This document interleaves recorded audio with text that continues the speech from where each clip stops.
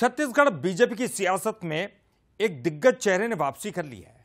लगातार सात बार सांसद और केंद्रीय मंत्री रहे, लेकिन जब 2019 में पार्टी ने टिकट काटी तो हँसते हँसते उसे स्वीकार भी किया और फिर दो राज्यों के राज्यपाल रहे और अब वापस प्रदेश की राजनीति में एक्टिव हो रहे हैं। तो कौन है ये कद्दावर नेता? देखिए इस खास रिपोर्ट में।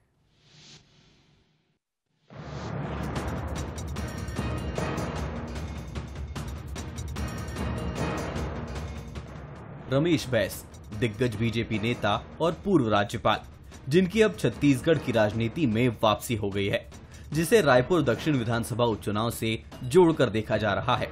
रमेश बैस की हर मंच पर मौजूदगी कई तरह की अटकलों को हवा दे रही है।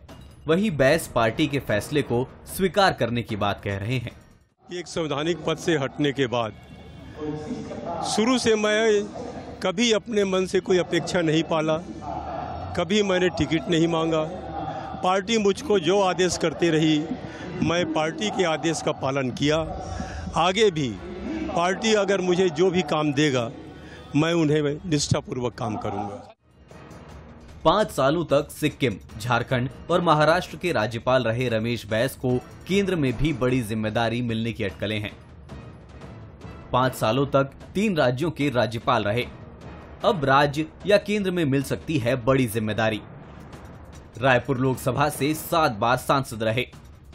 केंद्र में मंत्री भी रहे रमेश बैस। अब छत्तीसगढ़ की राजनीति में वापसी।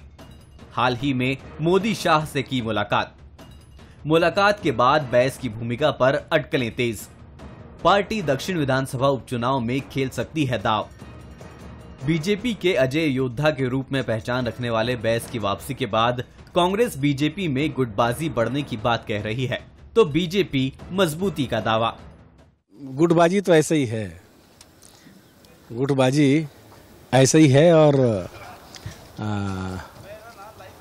आने से बढ़ेगा कि नहीं बढ़ेगा तो समय बताएगा।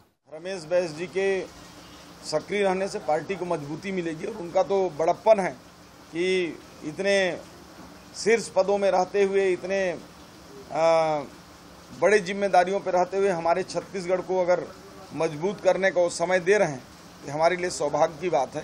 हमारी पार्टी और मज़बूत होगी ऐसे महापुरुषों के ऐसे महान नेताओं के हमारा काम करने से।